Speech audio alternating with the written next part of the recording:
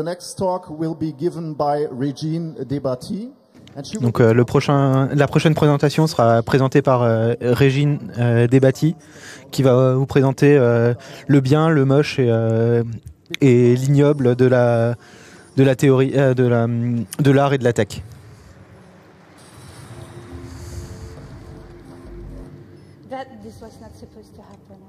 Donc ça, c'était pas censé se produire, désolé.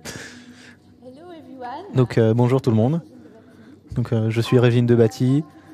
Je, je suis une critique artistique et, euh, et blogueuse depuis euh, 2004. Which is a blog that looks at the way Et je travaille sur un blog où on regarde comment les artistes et les hackers utilisent la science et la technologie d'une façon critique et engagée socialement.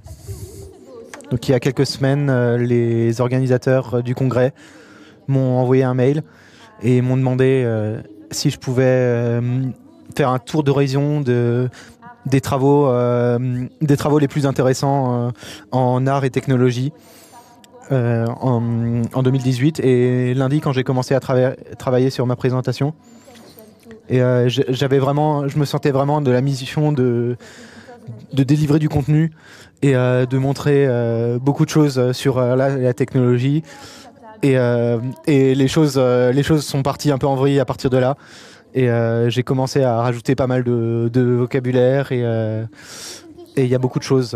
et donc, ça, ça va deven- c'est devenu une présentation où il y a beaucoup de choses que je trouvais intéressantes cette, année. Mais ça va être, ça va être inclus dans un, dans un narratif un peu plus large. Qui, présente un peu comment les, artistes actuellement euh, utilisent euh, un peu la technologie et la science pour, euh, pour explorer les limites du corps humain, mais aussi utiliser les sciences et les technologies pour, mettre pour mettre au défi l'intelligence humaine en fait. Et donc l'exposition 1, c'est un, un travail qui s'appelle Face Detected, donc visage découvert. C'est c'est peut-être pas le, le meilleur que je jugerais de 2018, mais, euh, mais c'est un artiste que j'estime beaucoup. Et donc, euh, Dries de Porter, euh, l'artiste, euh, avait une exposition à- au Mu Art Space à Eindhoven et il a installé ses, blocs d'argile sur les tables et a invité des sculpteurs à, à venir et faire des portraits des gens. Et euh, a commencé à, façonner ces bustes. Et euh, donc le, processus a été suivi par l'audience, mais c'était aussi suivi par euh, des logiciels de reconnaissance, faciale. Et, euh, à, partir du moment où le, logiciel reconnaissait un visage, le, l'artiste recevait un message disant euh, arrête-toi, on a, on a reconnu un visage. Et ce qui est intéressant, c'est que euh? Il y, a- il y a pire que ce- ça. hein. Uh, according to Donc, euh, selon les logiciels de reconnaissance faciale, reconnaissance faciale vu qu'ils utilisent différents paramètres et ils ont été euh, ils ont été programmés par différentes personnes, euh, ils reconnaissent pas nécessairement. euh, ils sont pas nécessairement euh, aussi rapides les uns que les autres. Ils ont des paramètres différents. Et euh, c'est pour ça que les résultats sont vraiment euh, tous très très différents. Et euh, la raison pour laquelle j'ai trouvé que, que ce projet était digne d'attention, c'est parce que euh, l'espace euh, de plus en plus grand de, de l'intelligence artificielle, des algorithmes, vous pouvez appeler ça big data, logiciel, et le, le rôle de plus en plus important de, de ces systèmes. que ce- ces systèmes prennent en fait dans la, culte, dans la culture. Il y, a, encore quelques temps, euh, bon, euh, la culture, on pensait que c'était surtout euh, l'apanage des humains, la, cré- la créativité, l'innovation, l'innovation, li- l'inventivité, c'était quelque chose d'humain, mais maintenant c'est devenu banal de, dire bon bah en fait vous écoutez de la musique mais ça a été composé par un algorithme ou vous, lisez un livre vous, vous lisez un poème qui a été généré en fait et c'est devenu un peu banal et en fait euh, ça se produit aussi dans le domaine des arts visuels par exemple euh, cette année on a eu quelques exemples euh, si vous regardez les, journaux même les journaux usuels on, a, eu pas mal d'articles disant Oh, les algorithmes ont fait ces, chefs-d'œuvre. par exemple, ce, portrait vraiment étonnant de, cet homme qui a, fait les unes, parce que c'était le premier portrait qui a été euh, généré euh, par un algorithme qui a été, euh, qui a été vendu à Christie's, qui, est- une maison d'enchères. Et donc ça, ça a fait la une non seulement parce que c'était le premier, mais parce que aussi ça a été vendu pour, pour un prix très haut, à peu près 40 fois le prix, la mise à prix. Et donc c'est un algorithme fait par un collectif basé à Paris. Et ça a été vendu pour à peu près un demi-million de dollars. Et si je dois être honnête avec vous, je ne peux pas penser à, un travail qui a, été, euh, qui a été fait majoritairement par un algorithme qui m'a autant euh, impressionné et, euh, et transformé. Mais je pense que je suis une minorité parce que vous avez probablement entendu parler de ces expériences scientifiques où des informaticiens à, l'université du New Jersey ont fait ce programme qui, peut répliquer et euh, fa- fabriquer des, œuvres abstraites. Et ils ont demandé à, des, humains de regarder, euh, regarder ces, peintures. Et ils ont, ils y ont, euh, ils y ont mélangé en fait des, peintures qui, qui avaient vraiment été faites par des, par des humains et qui étaient exposées, qui, ont, qui ont été exposées à Art Basel. Et, et ils ont regardé comment est-ce qu'ils qu'ils réagissaient et euh, d'après eux, qu'est-ce qui avait été généré par des humains.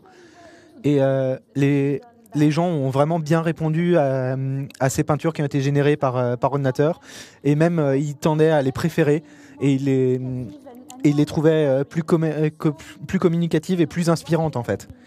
Et euh, donc, euh, peut-être qu'un jour, je serai impressionné. Mais, euh, mais je voudrais dire euh, que je serais pas... euh, je serais pas... je serais pas plein de soucis si j'étais artiste. euh, je vais pas... euh, oui, peut-être que si vous faites ce, genre de peinture, vous devriez euh, avoir des soucis, mais, mais je pense que... mais le, le type d'artiste pour lequel je m'in- je m'intéresse, je, enfin, je leur fais confiance pour, pour continuer à, à mettre au défi en fait, ces systèmes informatiques. Et, et, et, et je, les pense capables de, mettre à profit ces, choses pour, euh, continuer à, saboter, mais aussi, euh, les, faire aller dans leur sens et, euh, en, tirer profit en fait. Mais euh, je serais plutôt euh, inquiété pour, euh, inquiète pour euh, la critique artistique. Donc, euh, il y a quelques années, euh, donc en 2006 par exemple, il y a eu euh, au Palais de Tokyo à Paris, il y a eu un artiste qui montrait euh, un programme qui générait automatiquement du texte euh, qui, était, euh, qui était écrit par des critiques artistiques. Je suis désolé, l'ex- l'exemple est en français. Donc pour nous, en traduction, ça nous arrange. Donc il disait que, les, les, revues de presse étaient un peu cryptiques. et c'est tellement crédible en fait. C'est c'est le genre de rhétorique un peu, euh, un peu enflé, un peu euh, uh, euh, qui fait plein de références à, French philosophers à des, des philosophes français euh, importants. more worried for my job. et euh, personnellement, je serais plus inquiète pour mon, pour mon travail que pour celui des artistes. C'est notre installation artistique que moi j'ai bien aimée de l'année 2018. uh, challenges and- and play C'est une installation qui joue et qui souvertit l'intelligence artificielle et en particulier l'intelligence au domicile, les assistants au domicile comme Alexa et Siri. Alors vous connaissez peut-être l'artiste, c'est Median Group Bitnik. Ils, ils ont collaboré avec un DJ et artiste électronique LoJack et ils ont fait un album qui sera joué exclusivement à partir de Alexa, Siri et ses assistants vocaux. On va écouter justement un morceau dans un moment. Ce que la musique elle fait, c'est d'interagir avec Alexa, avec Siri, où ça donne un ordre ou quelque chose à dire. Ça essaie aussi de s'exprimer et de communiquer avec ces appareils les angoisses et les doutes et les autres émotions que l'artiste ou même nous arrive à avoir autour de ces assistants intelligents au domicile. Si c'est la peur par rapport à la vie privée, si c'est quelque chose qui est lié au fait qu'ils sont nommés intelligents et qu'on réduise notre garde et qu'on commence à leur faire plus confiance. Alors je vais faire écouter un de ces morceaux. Il y a trois ici. Il m'a envoyé trois.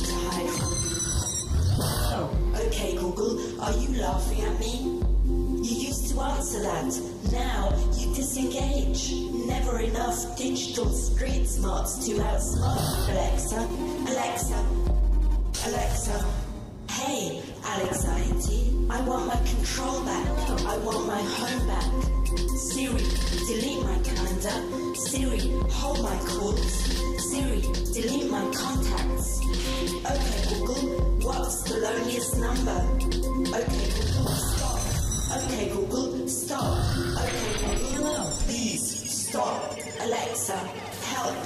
Alexa, disable Uber. Alexa, disable lighting. Alexa, disable Amazon Music Unlimited. Alexa, quit. Hey Siri, activate airplane mode. If you need me, I'll be offline in the real world. Uh, that's it for this one. Ça, c'était tout pour cette morceau. My god, what is that? Et ça, c'est un autre morceau qui commence à jouer. ça, c'est mon, c'est mon copain qui écoute et qui regarde. Il va bien aimer. Um. Alors, soyons sérieux pour l'instant. Alors, il y a deux raisons pourquoi ce morceau est intéressant. The first one is that La première raison, c'est parce have que a on n'avait pas franchement besoin un de ces appareils intelligents pour s'amuser avec ces appareils. Cette musique a été conçue pour jouer à volume maximal. Vous n'avez pas besoin d'avoir un de ces appareils, mais vous pouvez augmenter le volume et peut-être si vous ouvrez votre fenêtre, ça pourrait interagir avec les appareils de vos voisins. De jouer euh, un peu avec leurs euh, appareils intelligents au domicile. L'autre chose intéressante, c'est que Alexa a été designé pour être au plus proche possible à un humain. Et donc, à chaque fois que vous demandez la question, la réponse est un tout petit peu différente à chaque fois pour réagir comme un humain. Chaque fois qu'il y a une mise à jour, il y a aussi des changements dans la manière que ça peut répondre. Et comme j'ai dit, les artistes ont créé ce morceau pour communiquer leurs doutes et leurs anxiétés autour de ces systèmes intelligents. Parce qu'il y a quand même des problèmes avec ces systèmes. Une de ces problèmes, c'est le problème de surveillance. Ces appareils viennent avec des systèmes de surveillance corporatifs qui sont intégrés dans le hardware ou dans le software, dans la programmation. Amazon a envoyé, ça c'est une histoire qui a été envoyée sur le Verge il y a quelques jours. C'est l'histoire de Amazon, I want to know all the data you've collected about me over these past few years. And then he received this data. He said that he received the wrong data. He Donc il euh, reçoit les données, sauf qu'en fait il a reçu les, euh, pas les bonnes données, mais d'autres données. Euh, donc euh, il a envoyé un, un mail à Amazon. Attendez, il y a un problème, mais Amazon n'a jamais répondu euh, euh, à ce mail. Donc euh, il a contacté un journal à main Et puis le reporter a réussi à, à obtenir les informations qui a été l'ancien euh, euh, utilisateur euh, de cet appareil, qui était sa, copine, qui était ses contacts dans les médias sociaux comme Facebook. Donc en fait, on voit bien pourquoi les artistes et d'autres commencent à avoir peur ou ont des soupçons par rapport à Alexa et d'autres smart devices parce que en fait ces, appareils ne sont pas toujours euh, aussi sophistiqués euh, et puis euh, par exemple les parents les, le donnent à leurs enfants et puis ils écoutent tout le monde. Donc, par exemple, ici, le perroquet va apprendre euh, à parler à Alexa, en fait, en, imitant euh, euh, ses-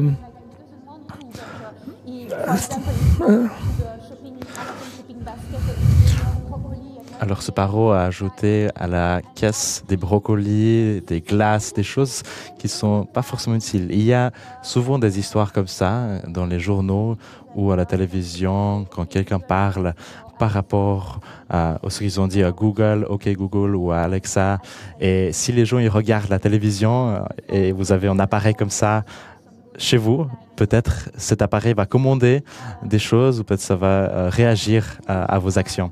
Comme vous pouvez voir, euh, ce système intelligent est pas forcément très intelligent des fois. Ça n'arrive pas toujours à différencier entre le personne qui est à l'intérieur de la salle et différencier avec les personnes qui sont à l'extérieur. Peut-être des, des voix qui sont émulées par des oiseaux hein, ou par la télévision. De mon point de vue, les machines intelligentes peuvent être confus, mais en termes de humain, on peut être aussi confus. Quand on lance le mot intelligence artificielle, la plupart des personnes, les personnes sont prêtes à croire à la hypnose. Quand on lit par rapport à ce qui se passe en Chine avec cet euh, système très sophistiqué qui apparemment fonctionne très bien, qui reconnaît les visages de très bonne qualité, de très sophistiqué aussi. En réalité, la technologie a des limitations et il y a aussi beaucoup de limitations avec la bureaucratie et les données ne sont pas forcément digitalisées. Des fois, le travail de la police n'est pas aidé par le travail de CCTV, de l'enregistrement vidéo et par l'intelligence artificielle. Et il doit faire confiance à la bureaucratie, à leurs papiers et à leurs méthodes traditionnelles. À la fin du jour, ce qui compte, c'est que avec l'intelligence artificielle, on a peur des fois qu'on sera toujours sous surveillance, mais en réalité, c'est pas toujours le cas. Aussi, on nous parle que on aura bientôt des voitures intelligentes, des voitures autonomes qui vont conduire d'une manière sans problème entre un point à l'autre point dans un euh, dans un cité. Mais en réalité, on leur entraîne toujours. Chaque fois qu'on utilise reCAPTCHA, on doit identifier les carrés où il y a des feux, des magasins ou même des postes, des signes de poste. Où je veux y aller avec ça, c'est qu'il y a encore beaucoup des humains derrière les machines. Il y a encore beaucoup de procès. L'intelligence artificielle est inutile sans les datas et les datas sont inutiles sans que les données soient taguées. Ce qu'on voit, c'est qu'il y a une émergence de factories, des usines où il y a des personnes qui sont derrière des ordinateurs, où ils rajoutent des commentaires et des points sur des images, sur des données pour leur augmenter. Cette intelligence artificielle qui a dû nous libérer de la, du travail qui est pas très intéressant ça cause quand même du travail euh, qui n'est pas très intéressant pour les autres personnes. Mechanical Et c'est justement ce que Amazon ils font par exemple avec leur artificial intelligence, avec leur faux automation, avec leur service de Mechanical Turk. Et certains de ces caractéristiques, c'est la hyperfragmentation du monde, où on divise le monde dans des petits morceaux et ça peut perdre beaucoup de valeur, de prestige, et les personnes ils sont sous-payées. Cette culture de travail est en train d'augmenter, elle est en train de rentrer dans le monde des personnes créatives, des freelanceurs. Il y a cette plateforme qui s'appelle Fiverr, par exemple, une plateforme de crowdsourcing où vous pouvez acheter des services des personnes qui vont faire le design pour vous, par exemple votre logo, ou une carte postale, ou une carte de business, carte de visite, ou euh, faire un testimonial, un vidéo, ou par exemple ici il y a un exemple où ils vont vous créer deux logos en 48 heures pour 5 dollars. Ça, c'est très très bas. Les caractéristiques de ces entreprises, de ces plateformes de crowdsourcing, ces services, c'est que ils font confiance sur la précarité. Fiverr, par exemple, ont eu une campagne de publicité où ils ont glorifié l'idée, l'idée de travailler jusqu'au mort, travailler super, super dur. Et ici, c'est où moi je vais à la troisième installation euh, artistique qui a été créée il y a quelques années par Michael Mandenberg, qui voulait créer un portrait de la personne cachée derrière l'usine digitale. Pour le faire, il voulait recréer le film iconique de Charlie Chaplin, Modern Time, temps moderne de 1900 1946. Ça, c'était l'ère de la Grande Dépression. Il y avait beaucoup de personnes qui étaient sans emploi, qui n'avaient pas assez à manger, qui ont eu des difficultés avec leur vie. Et Michael Mandberg a refait ce film, l'a mis au jour. D'abord, il a écrit un code. Le code a coupé le film de Chaplin dans des petits morceaux de quelques secondes. Et ensuite, il a contacté des personnes sur Fiverr, sur ces plateformes. Il a donné des petits morceaux de ce clip à ces personnes sur Fiverr pour qu'ils puissent le reproduire. Et ça, c'est ce qu'ils ont fait. Je vais justement vous montrer un extrait. Bien sûr, l'artiste n'avait pas de la contrôle sur l'endroit, sur le choix de la production. Euh, et j'espère que moi, je vais trouver la bonne vidéo et pas la fitness vidéo. voilà un extract.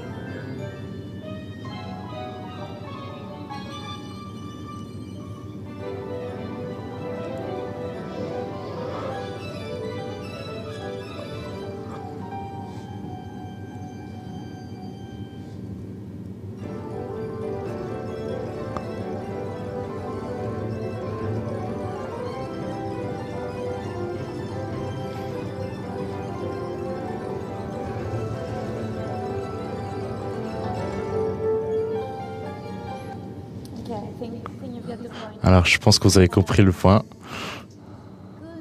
Bien. Alors, avec ce travail, Michael Mandelberg a essayé de faire un portrait caché de l'aspect humain de ce travail. Ce travail qui est fait par les freelancers. Et vous pouvez voir que le résultat est très chaotique, qui est bien dispersé et bien fragmenté partout dans le monde. Ça, c'est le caractéristique de ce travail, de ces usines digitales. Avec ce monde qui est caché, on peut continuer par rapport aux modérateurs des contenus, des médias sociaux, des réseaux sociaux. Peut-être vous avez entendu parler de cette histoire qui est originée de l'Allemagne. J'ai écouté un interview avec une personne qui a travaillé en termes de modérateur des réseaux sociaux et elle m'a expliqué le type de travail qu'elle a fait. Le travail qu'ils font est sous un contrat de confidentialité. Du coup, c'est très rare de rencontrer une personne qui va expliquer ce qu'ils font. Chaque jour, chaque modérateur doit passer par 1300 contenus qui a été marqué comme euh, inapproprié ou autre. Du coup, ça laisse pas beaucoup de temps pour faire une analyse profonde. Et justement, elle m'a expliqué que il n'y a pas d'opportunité pour réfléchir et le procès pour juger chaque contenu dure que quelques secondes. Si le contenu sera bloqué et aussi ça va rester sur Facebook. Tout ce processus de réflexion est réduit à l'auto- l'automatisation. La chose intéressante, c'est que la nuit, pendant qu'elle dort, elle dormait, elle, euh, elle dormait, elle pensait par rapport aux choses, aux euh, refaire les choses d'une manière automatique à chaque fois. Donc, euh, on voit bien que dans ces grandes euh, entreprises, euh, le désir est là de remplacer euh, toutes ces tâches par des machines automatiques, mais ceci n'est pas encore possible. Donc, ils, utilisent encore des humains qui, en fait, maintenant refont les mêmes tâches monotones que les machines étaient censées faire. Euh, Excuse-moi. Ah, ok. Je pensais que quelqu'un avait posé une question. Ah, ok. Euh, où en étais-je? Donc la solution était de réduire euh, ces personnes à, à des machines et d'automatiser de cette manière euh, les tâches. Et donc, euh, un exemple, euh, donc on voit bien comme euh, leur environnement de travail est complètement différent de cet autre euh, exemple de, des bureaux de Google, mais qui ressemble beaucoup plus à une usine. Je pense que la manière dont le travail est automatisé peut être comparée à la manière euh, dont euh, le travail euh, est automatisé dans les euh, entrepôts d'Amazon euh, qui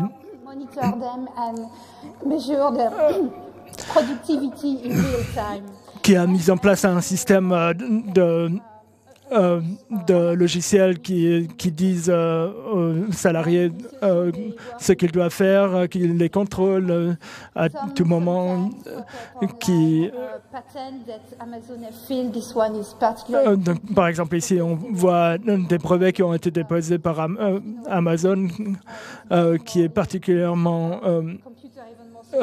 effrayant, puisqu'on voit comme, euh, Comme, euh. So les salariés sont euh, contrôlés très précisément et puis euh, avec un retour euh, haptique aussi qui, qui leur euh, mentioning Amazon, but um, this qui permet de les contrôler. Donc on, on voit aussi que euh, ces principes euh, sont repris dans d'autres entreprises, par exemple ici dans Auchan euh, Drive. Euh, Euh, au lieu de d'aller au supermarché, de passer par euh, le supermarché, on passe la commande en ligne et puis dix minutes plus tard, quand on arrive au supermarché, on a les sacs tout prêts à reprendre. Et puis on voit bien sur la photo que l'appareil qui est utilisé est le même que celui que utilisé par Amazon. Et ce que je trouve le plus effrayant, c'est que quand ils obtiennent la liste des euh, produits qu'ils doivent prendre, ils, ne reçoivent. euh, on ne leur dit pas de prendre trois bananes et puis euh, deux paquets de chocolat, mais on leur donne uniquement des numéros et des euh, coordonnées où est-ce qu'ils doivent les prendre. Et puis ils doivent euh, les trouver le, plus vite possible. donc. Ils doivent euh, aussi avoir euh, peur de revendications de leur chef qui pourrait les envoyer dans la partie surcongelée. J'aimerais regarder sur les personnes qui veulent être plus proches aux machines, un peu plus proches aux robots, mais à leur terme avec leur contrôle. Et c'est quelque chose qu'ils font volontairement. Il y a une commun- communauté des personnes qui s'appellent les grinders.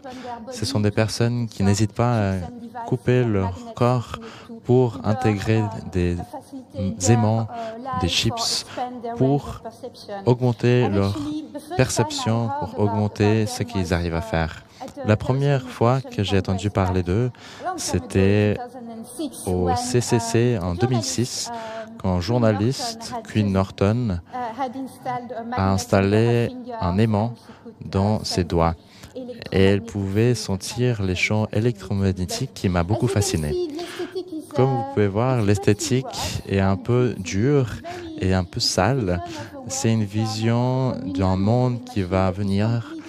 C'est un monde qui est très différent esthétiquement et qui est vendu d'une manière différente que la vallée de Silicon. Je trouve que c'est très fascinant de voir comment ils prennent contrôle de la technologie pour montrer comment ça peut voir en réalité. Alors dans la troisième partie de mon discours, je vais parler de la confusion entre l'intelligence de machine et la confusion qu'il y a. Alors dans cette troisième partie, je vais parler, je vais regarder sur une autre manière d'hybridiser des humains, des, des corps, ce fois entre les corps et autres animaux. Nous avons été en train de jouer avec nos corps pendant des dizaines d'années, depuis les années 60, quand on a commencé à prendre des pilules contraceptives, et aussi des personnes qui ont changé leur genre, des personnes qui ont joué avec leur corps. La première célébrité transgenre était George Jorgensen, qui a commencé sa vie en termes de GI et a commencé sa vie comme entertainer femelle. Ensuite, euh, j'ai vu ça euh, il y a quelques semaines sur une euh, exposition pho- photo WordPress. C'est une photo qui a, été prise à Taïwan. Et Taïwan, c'est en fait. ça, a, émergé comme une des principales destinations touristiques pour, pour la médecine parce que vous pouvez avoir une, une sécurité sociale qui est assez intéressante et euh, des, opérations qui sont assez euh, abordables en prix. Et, euh, donc la niche pour, pour, ces, pour ces opérations, c'est aussi les, opérations de réassignement de, sexe. Et donc l'opération vient de terminer et le, médecin montre au patient son nouveau vagin.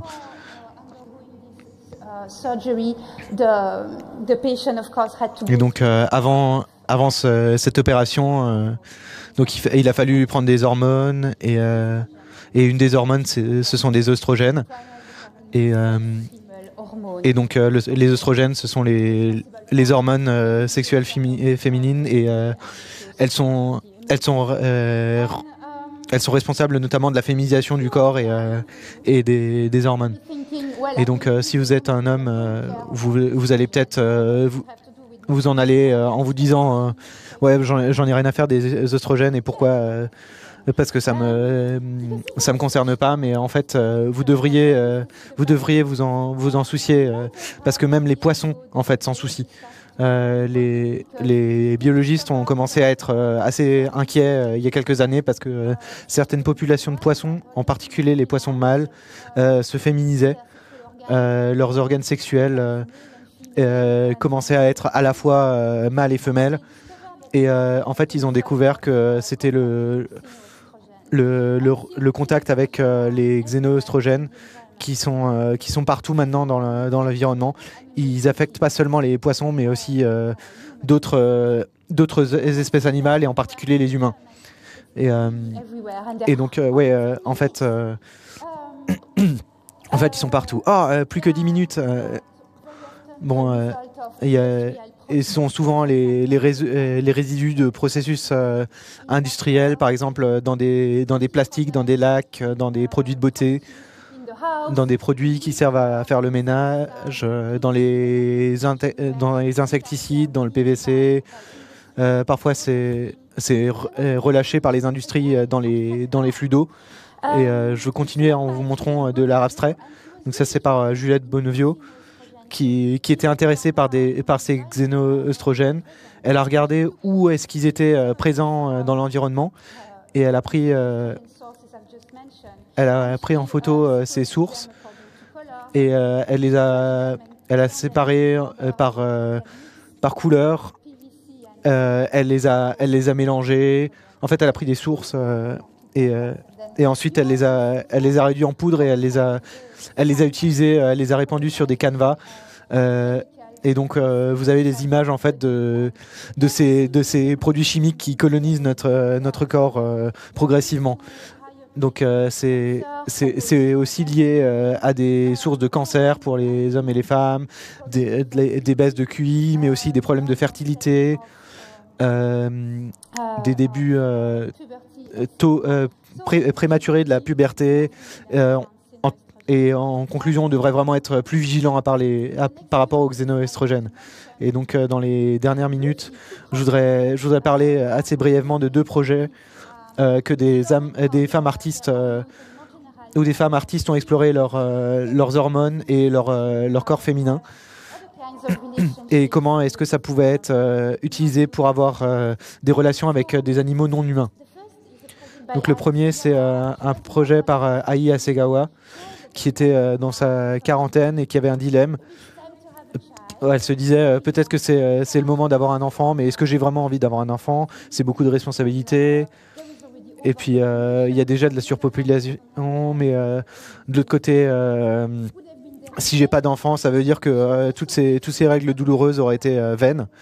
Et en fait, d'un autre côté, elle aimait bien aussi manger des, espèces en voie de disparition, en particulier des dauphins, des requins et des baleines.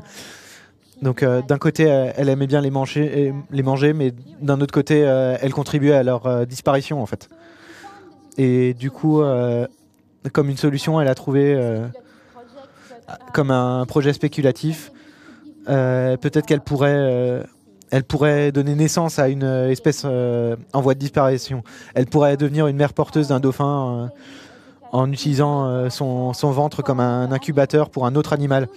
Et pour utiliser ça, en fait, euh, elle a consulté un, expert en biologie synthétique, en obstétrique, et euh, qui leur ont dit euh, que techniquement c'était possible.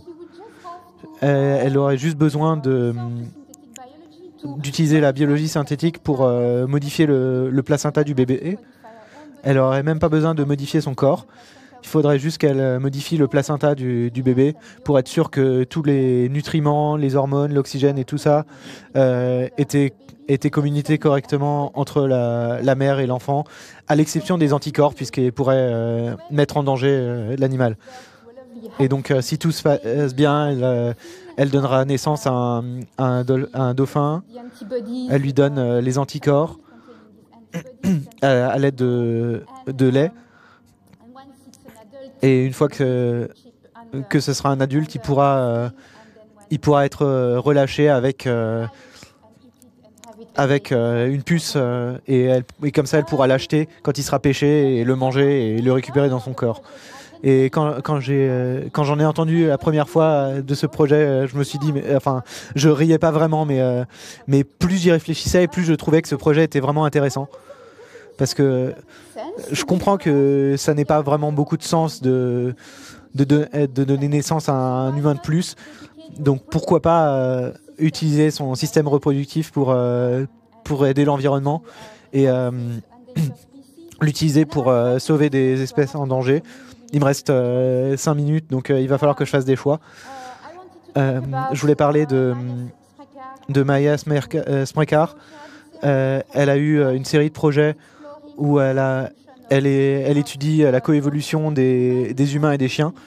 Et euh, pour faire très court, une de ses expositions, euh, c'était euh, de passer quatre mois dans, son appartement à Berlin avec ses deux chiens, donc un chien adulte et un, et chiot nommé Ada. Et donc elle les a... en fait, elle a... hum, elle, elle a forcé son, corps à, produire du lait, même si elle n'était pas, euh, si pas enceinte. Et, euh, et donc j'ai trouvé que ces deux projets étaient vraiment euh, intéressants parce que ça, montre la puissance du, corps féminin et ça montre euh, que ce, qui, ce qui empêche euh, les, les, les humains d'avoir euh, ce, ce- cette maternité en fait euh, transgenre, c'est c'est pas tant la technologie, mais plus la, société qui impose euh, aux femmes de quoi faire avec leur, euh, corps. Et, euh, ça permet aussi de remettre en question notre anthropocentrisme et de remettre en question le fait qu'on est, qu'on est au contrôle du monde. Et donc, comme une parenthèse, si vous êtes intéressé par les oestrogènes, je, je recommande cette présentation de Marie Magic qui a été donnée euh, l'année dernière au Chaos Communication euh, Congress euh, à propos des oestrogènes, leur lien avec l'histoire et son travail en tant que biohacker. Et en conclusion, je, demande, vous me demandez peut-être pourquoi, pourquoi je parle d'intelligence artificielle et de maternité intra-espèce, bah, en fait, je pense que le, quand, on, quand on regarde le monde numérique, on, on oublie peut-être qu'il y a un monde matériel derrière, que pour avoir euh, une intelligence artificielle, il faut une, infrastructure, il faut des, des équipements, il faut des serveurs, il faut de- des espaces euh, de, hum, de, de stockage de ces données. C'est un peu comme euh, le, hum, le cerveau humain. Il- en, en taille, il est, il est assez petit, mais euh, il utilise un cinquième de, de l'énergie que consomme notre corps. Et euh, ça veut dire aussi que euh, l'intelligence artificielle a besoin d'une infrastructure très importante. C'est très, euh, très coûteux en énergie. Vous avez, vous avez déjà vu euh, toutes les, enfin les, les communiqués de presse d'Amazon, Google, Facebook et tout ça, qui, qui sont en train de- de, de se tourner vers les énergies vertes. et qui, mais ils utilisent encore beaucoup d'énergie fossile pour alimenter leur, euh, leur ferme de serveurs. Et pour euh, fabriquer les serveurs qu'on utilise, il faut toujours utiliser des minéraux qu'on peut euh, récupérer dans des mines qui sont potentiellement très dangereuses. Les, les éléments qu'on utilise, ils sont pas infinis non plus. Et, et à moins qu'on récupère ces minéraux dans les astéroïdes ou dans les océans prochains, on risque d'avoir des profonds, on risque d'avoir des problèmes euh, d'approvisionnement. Et, euh, et euh, le problème, c'est que les trouver les produire, en fait, c'est très dangereux pour l'environnement. Et euh, j'ai la, sensation qu'on est un peu comme les, les golfeurs dans cette image. Quand, quand je vais à, à, certains, à certaines euh, conférences euh, d'art ou de technologie, euh, je trouve qu'on est un peu complaisant et, et que notre vision du futur est un peu, est un peu étroite d'esprit. Peut-être que c'est normal, je pense que ça vient aussi si vous êtes... si vous, vous allez voir quelqu'un qui a un, un super boulot à la Silicon Valley, il leur demande euh, Si vous demandez la même question à quelqu'un qui est activiste chez Greenpeace, ils auront peut-être un perspective complètement différent par rapport à leur vision au futur.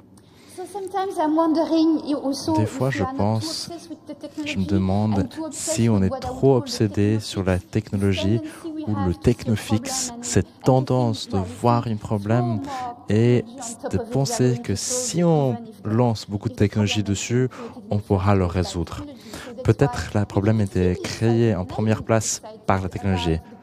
Souvent, on commence à penser beaucoup euh, au fait euh, que si un woolly mammoth, un sera euh, recréé, ce sera peut-être super cool, mais on ne pense pas aux tous les espèces des animaux qui euh, cessent d'exister chaque jour entre 100 et 200 différents types euh, des, é- des insectes et des fleurs et des autres flora et fauna qui disparaissent chaque jour.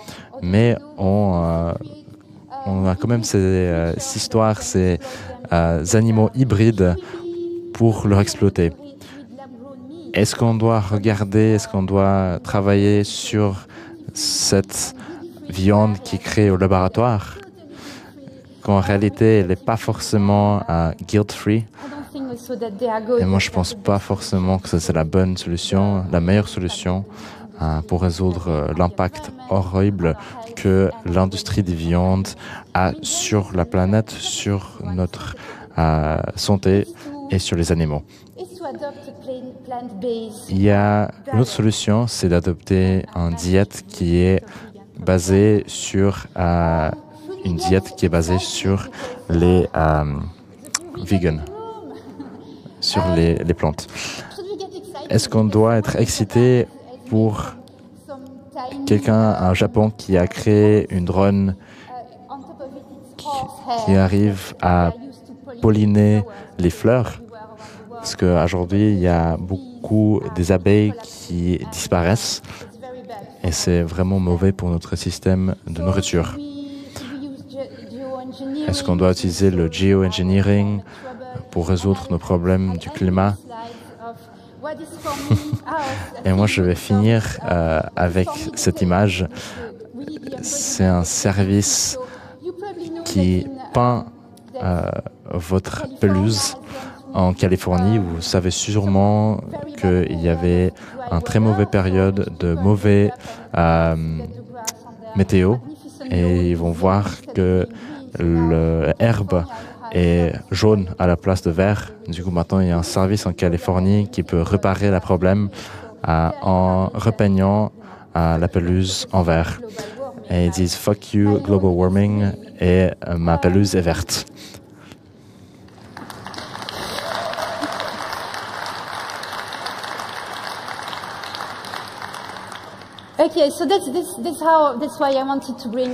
Et ça, c'est comment moi je voulais amener tous ces visions ensemble, ces visions qui sont différentes. Peut-être on a tous différentes de chacun, mais on n'a qu'une seule planète, qu'une seule humanité.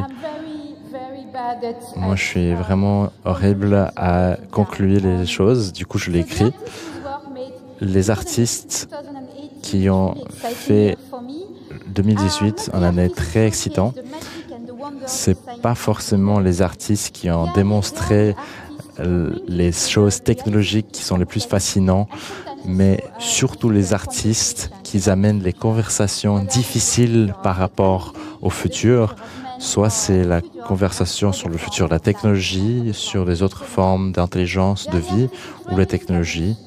C'est surtout les artistes qui essaient d'introduire un dialogue entre les valeurs idéologiques, minéralogiques et de penser comment on arrive à affectionner chacun et chacune. Merci beaucoup.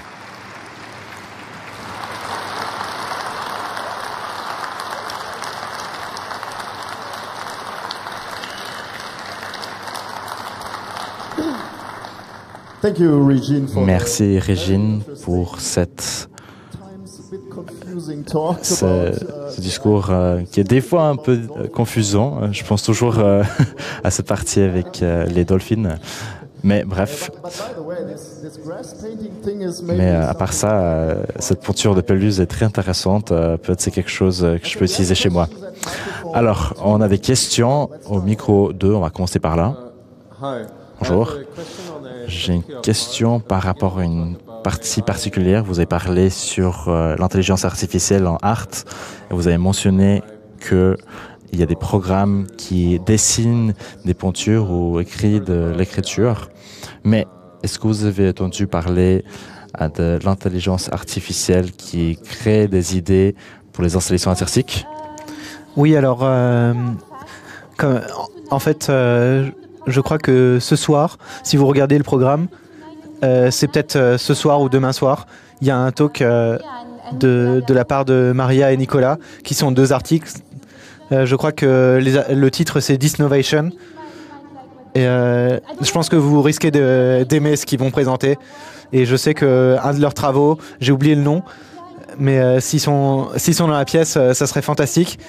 Mais ils avaient un projet euh, où ils ont un bot qui est sur Twitter et qui, qui, qui traverse les blogs et les journaux à propos de créativité et de technologie et euh, qui utilise toutes ces données pour euh, générer, pour générer euh, des, des titres un peu, un peu fous et stupides pour des installations. Et ensuite, les artistes mettent au défi d'autres artistes de, de prendre ces tweets qui sont vraiment fous et en faire des installations. Et donc ça c'est c'est un c'est une façon un peu un, un peu euh, compliquée euh, où l'IA est utilisée pour faire euh, des installations artistiques. if you want Mais euh, pour l'instant, je peux pas, je peux pas penser à d'autres euh, de façon. Mais euh, mais si vous voulez, vous pouvez m'appeler et, et me donner. Et si vous avez d'autres idées. Okay, any more? Alors, est-ce qu'il y a des autres questions? I don't see any. Moi, Je vois Ah, pas autres questions. over there. Ah, si, il y a une question tout au fond. Micro 4. Alors, moi, je pensais qu'il y a probablement la certitude qu'on développe une race humaine euh, qui, qui a beaucoup de développement euh, très court terme. On va aller au Mars. Et en un certain sens, est-ce qu'on doit diviser la race humaine entre plusieurs planètes avec la modification humaine? Okay, I, I didn't understand the question. J'ai pas vraiment compris la question. Please repeat. Alors, en général, nous allons à une civilisation post-humaine et je pense qu'on ne pourrait pas survivre sur cette planète pour trop longtemps. Du coup, je suis optimiste, je suis vegan, mais on a des nouveaux développements. On pourrait aller à Mars bientôt. Mais euh, qui, qui, qui, va vouloir euh, aller sur cette planète vraiment sérieusement? Euh, C'est pas. Ça, risque d'être un peu comme l'Australie. On va envoyer les criminels et, les prisonniers là-bas. Allez, euh, franchement, je pense, je pense, je pense que je vois ce que ce que vous voulez dire. Moi, je pense que je suis un peu plus optimiste que vous sur le futur. Je pense qu'on peut on peut toujours survivre sur cette planète, même euh, même si on est euh, très nombreux. Il faudra juste euh, trouver d'autres moyens, euh, d'autres moyens de consommer et de, et de s'occuper les uns des autres. Peut-être que c'est son- euh, c'est mon côté féminin. Peut-être ce sont beaucoup de modifications aux humains. à- aux humains, ça sera peut-être pas possible, mais je pense que c'est un point en commun. Mais je pense que ce serait mieux si on n'aura pas un plan B, mais ce serait mieux si on en a. Sometimes. Ouais, moi je, je me dis ma philosophie c'est plutôt on verra quand ça viendra. Don't see any more questions. Alors, moi, je veux plus de questions. Let's thank the speaker again. On va remercier la personne qui a donné le discours. Merci. Merci.